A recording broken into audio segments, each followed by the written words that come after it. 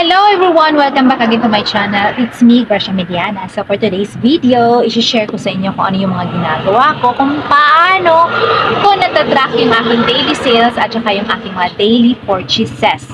Paano ko ba nalalaman kung naka, na-hit ba natin yung ating daily target or daily quota natin everyday at saka yung purchases natin, paano ko siya hinahandle at saka nilalagay, saan ko ba siya nila- nilalagay or magkano yung aking monthly sales, monthly purchases, and annual sales and annual purchases as well. Okay, isi-share ko yan sa inyo. Baka pwede rin yun gayahin at saka baka effective din sa inyo kung inyong gawin or kunan man lang ng ano, information or kukunan nyo ng format kung paano nyo siya gagawin. Okay. But before anything else, I just want to say hello. Thank you so much lahat ng aking mga subscribers at saka sa aking mga viewers at especially doon sa mga nag-leave ng comment. Thank you so much guys sa inyong mga advices regarding yung sa mga sinishare ko sa inyong problema. Personal problem dito sa ating sari-sari store. I really appreciate you guys. Salamat talaga ha, from the bottom of my heart. Sana ay God will bless all of you. Ayan. So that's it. Ipapakita ko sa inyo kung saan ko sinusulat yung aking mga daily sales dito sa aking store at saka yung aking mga daily purchases. Ayan. I have here the columnar. Ayan. Tatlong columnar siya. And then, I have here also my record book and itong maliit na notebook. Well, isi-share ko sa inyo kung ano yung mga nilalagay ko sa mga ah, notebook na ito. First is itong maliit na notebook. Ayan. Itong maliit na notebook is dito ko nilalagay yung aming mga personal expenses na yung mga kinukuha namin dito sa tindahan which is binabayaran naman namin pag sweldo na ni husband. Ayan.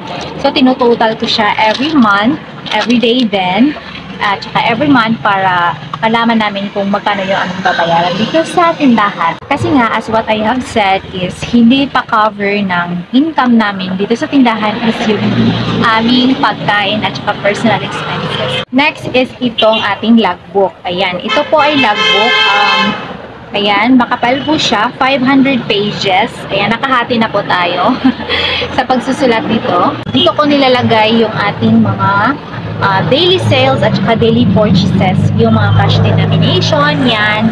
Dito ko nilalagay at saka yung ating daily sales kung ano man yung mga pina-purchase natin para easy ko lang siya masulat. Ayan, as you can see, hinati ko siya. Dito ko nilalagay yung mga detailed um, notes or detailed na mga purchases. At saka dito naman yung cash, denomi dynamic, cash denomination sa baba. Ayan. Dito naman sa ibabaw is yung detailed purchases namin. Like, say for example, is uh, purchases namin about sigarilyo. Kung ano yung klaseng sigarilyo na binibili namin. For example, Winston, Mighty, or Marlboro. Ayan. Kung ano yung klaseng yung feeds, dapat naka-detailed yon Yung Integra 3 Plus or uh, galing Max 2 Plus, kung ano yung Thunderbird, klaseng Thunderbird na aming pina, aming binabili, ayan. So, dito ko po nilalagay yung everyday sales namin. Tapos, dito naman po, itong ano, sa columnar is yung daily sales. Dito ko po nilalagay yung aking daily sales at saka yung aking monthly payables para easy ko lang siya ma-recognize at saka easy ko lang din siya makikita. Ayan. So, at the end of the month, tinutotal ko po siya kung magkano and then dinivide ko kung ilang buwan ay ilang araw sa isang buwan para makita ko po kung ila, magkano ba talaga yung ating average sales per day. Ayan, dyan ko po nilalagay.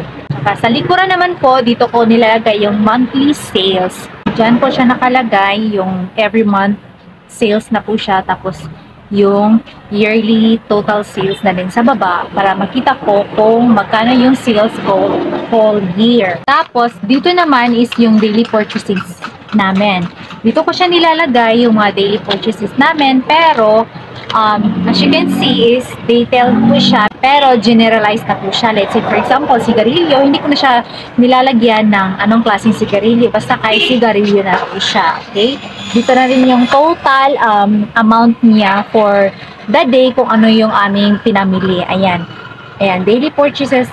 Pero kasi doon sa logbook is yung doon kasi sa logbook is nakalagay doon is yung detail, magkano yung amount. Pero dito is total na po siya in a day. Tapos nandito yung total amount niya um, sa purchases for the whole month. And same na din sa likod, din doon ko na din po nilalagay yung total amount ng uh, purchases for the whole month at saka makikita na rin dito kung magkano yung whole amount for the whole year sa purchases ng ating tindahan. Ito naman po ay sa ating income statement at saka cash flow. Ito po yung uh, logbook for ating income statement at saka cash flow which is very basic lang po siya, no? Kung ano yung ating pinagagastusan, ah, yun lang din po yung nakalagay dito.